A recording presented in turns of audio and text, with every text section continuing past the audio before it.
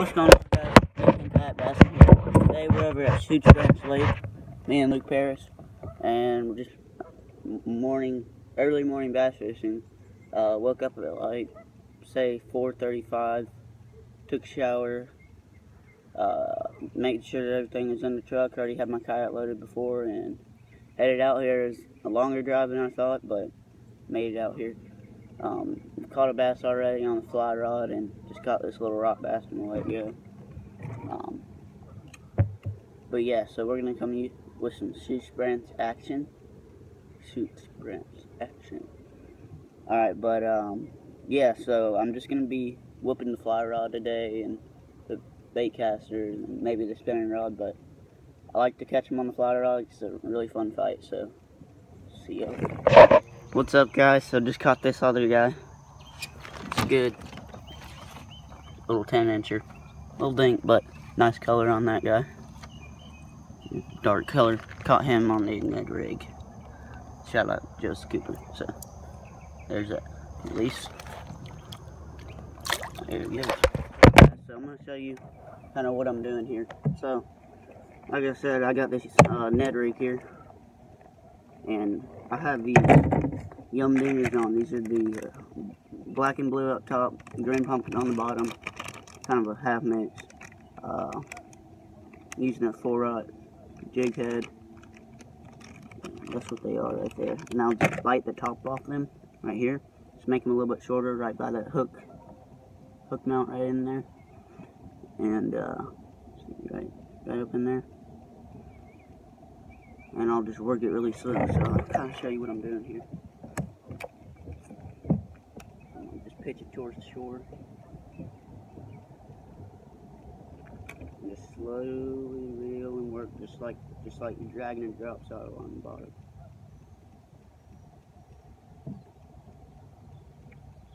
And you'll catch them right when they come up, or you know, right when you're it's down there. But I've caught a lot of them uh, when I'm just bringing the lure up into the boat. And they're like, oh, this is my last chance at it. It. Sometimes when you're untangling your line, you'll get them too. But this really, you know, if it sits there, they'll eat it too. Put a little bit of sand on it, you know, so they hold on to it, but go ahead and do that.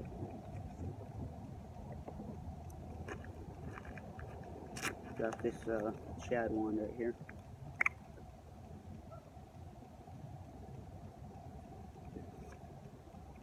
I just put a little bit on the hook, that's all it takes. And you're just gonna rub it on the worm. Some out of the shad wand up top, so I kinda gotta dig the hook in there, put it on the hook, and put it up. I'm using the Duckett Ghost with a Lew's Speed Spool. Uh, I think this is, this is the BB2 with the 7 1 to 1. And I got some uh, K9 fishing fluorocarbon.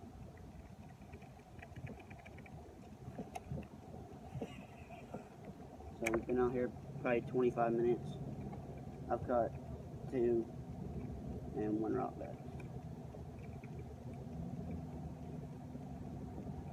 So just like I said, just work it really slow. Just drag along the bottom. Trying to get y'all video where I catch one on camera. So I never have the camera rolling when I catch one. I Don't know why. Happens to be. that.